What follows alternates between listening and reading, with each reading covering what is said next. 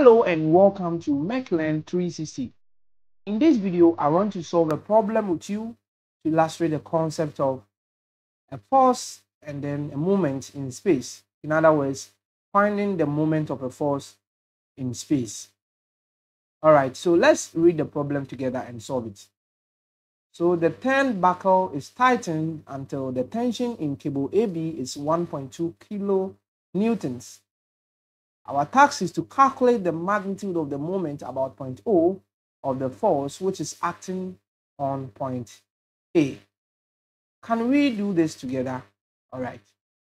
So let's start by saying that the moment is actually a cross product of the position vector and the force vector. In other words, to find the moment about point O here, what we are going to do is that we are going to describe a certain position vector from O to where the force is acting. And in this case, since we are dealing with the tension force, the tension force will always act away from the body. Therefore, we are going to um, move from O to where we call the tail of the force. So the tail of the force.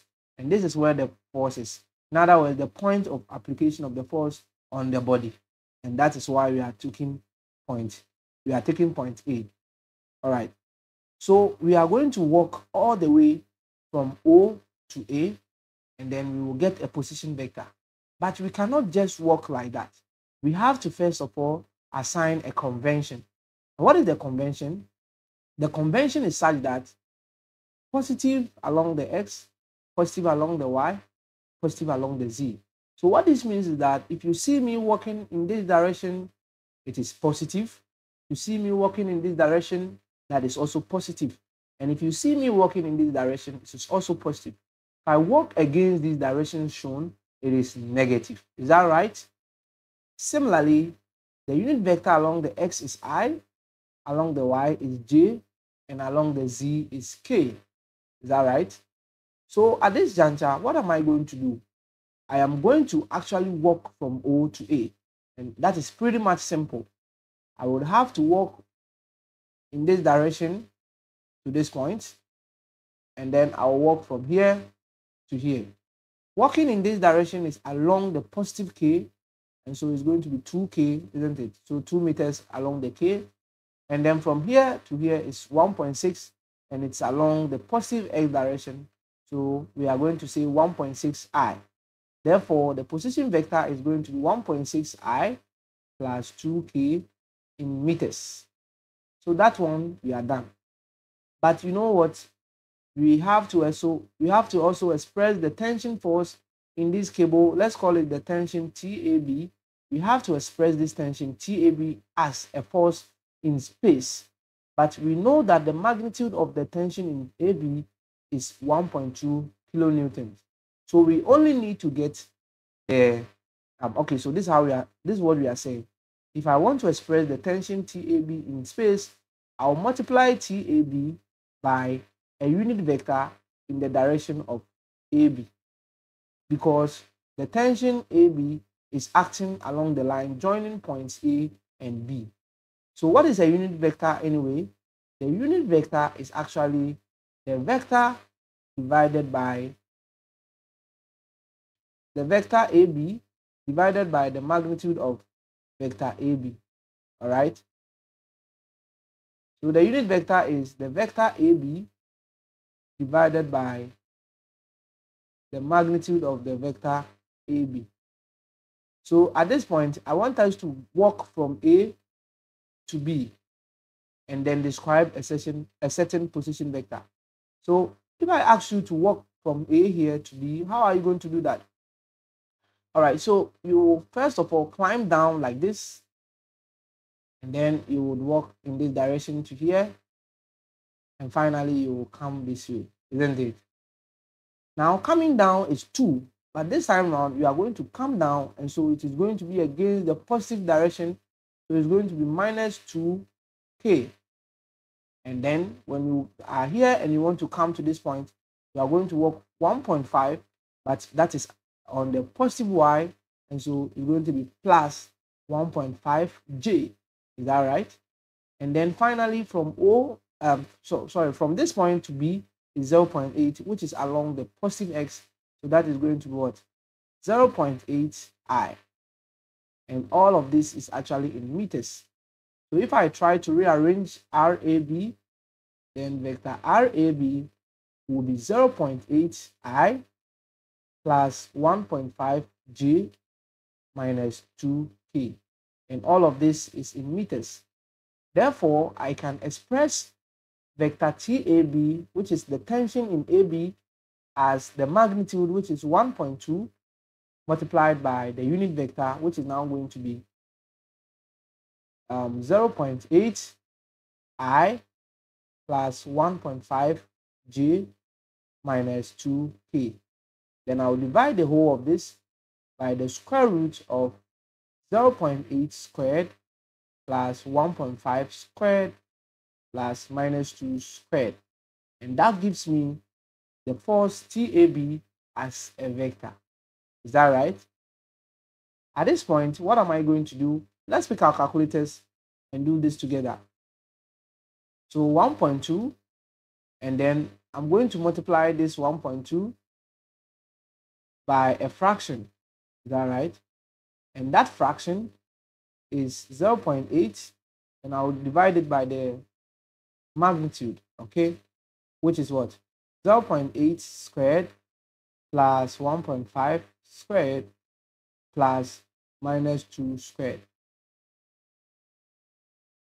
Okay. Now, I'm going to do 0 0.366. It means that the component here is going to be 0.366 i. Then I will change the 0.8 and then I'll make it 1.5. That will give me the J component. And that is what? 0.686. So plus 0.686 J and then minus. So minus, um, then I'll put 2 here. So 2 here and that gives me 0.914. So minus 0.914 K and all of this is actually in kilonewton. So you know what? We've been able to express our force into a Cartesian vector, right? And this will make the moment now easy because we are going to do the cross product of RAB and then cross what? Oh, sorry, we are going to do the cross product here. This one since we are taking the moment about O, we said that we have to walk all the way from O to A, and that is what we got here.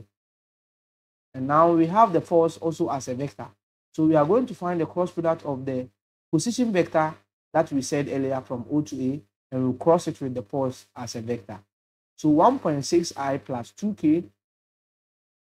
So 1.6i plus 2k cross the force vector, which is what? 0 0.366i plus 0 0.686 g and then minus 0 0.914 k. Let's cross this together. The best way to do this is to draw a 3 by 3 matrix with the first row as i, j, and k. The second row is the position vector, which is 1.6 along the i, 0 along the j, and 2 along the k.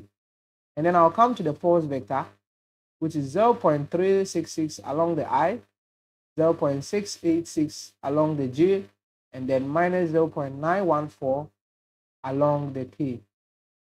All right. So how can I uh, solve this?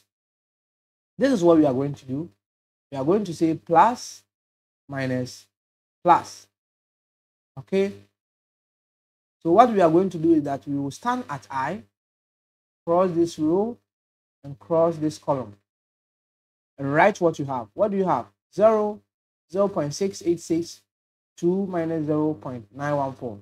So I have 0, 0 0.686, 2, and then what? Minus 0 0.914. That gives me, um, so that will give me what? I. Are you with me? Then I will do minus. Then I will start at J.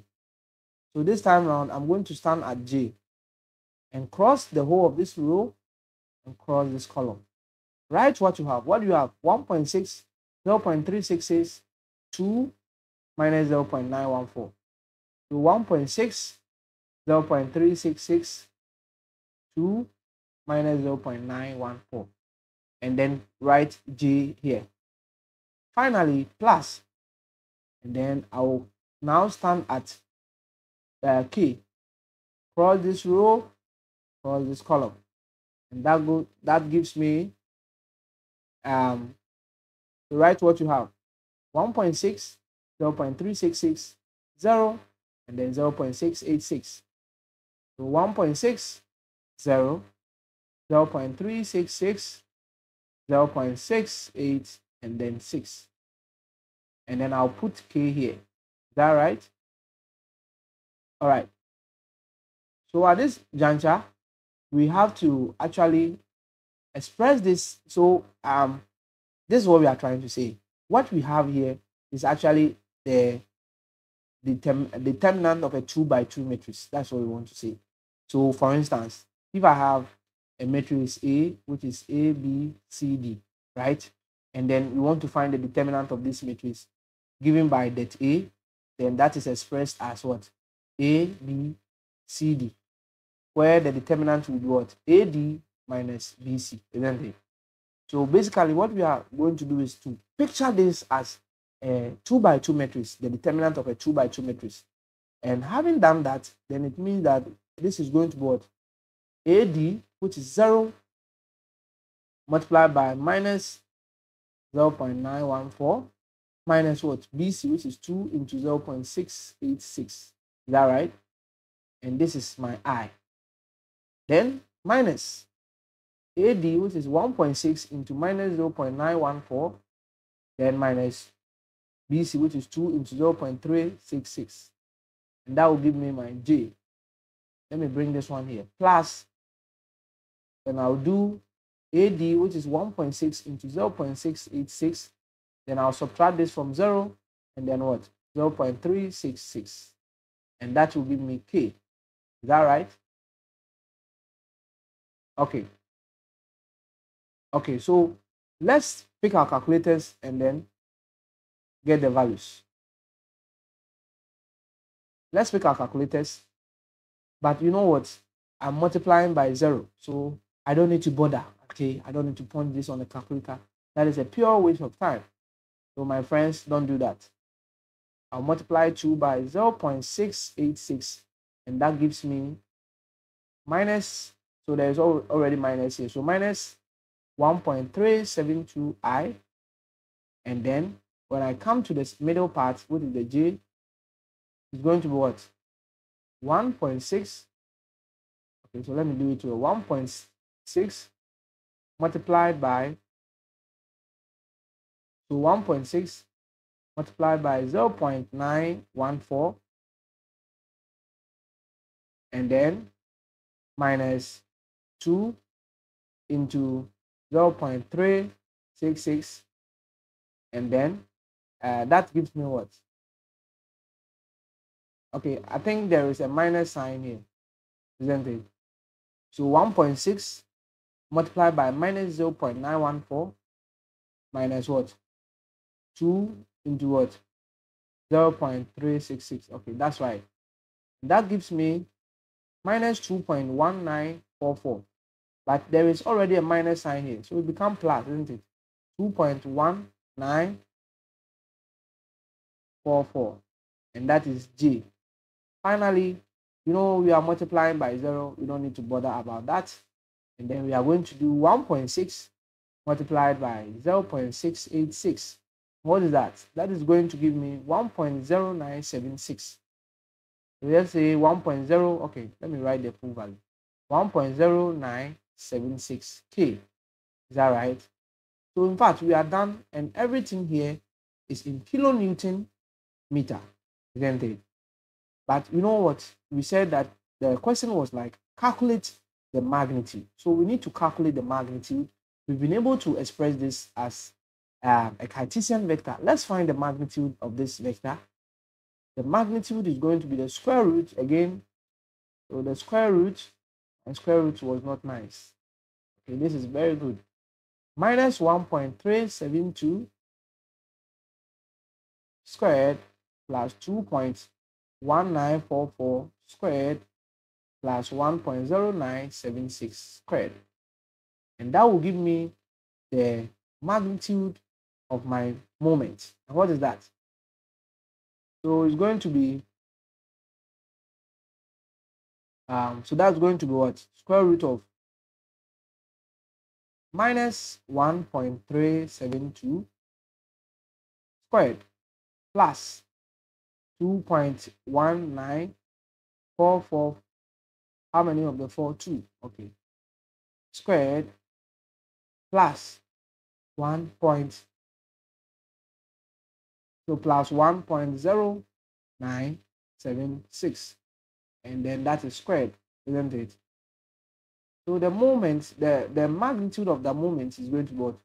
2.81 0.81 uh, 2.811 or let's say 2.81 kilonewton meter and that gives us what? The magnitude okay? That gives us the magnitude of the moment about point o okay? And the force was acting at point a. All right thank you very much for watching this video. I hope the concept is clear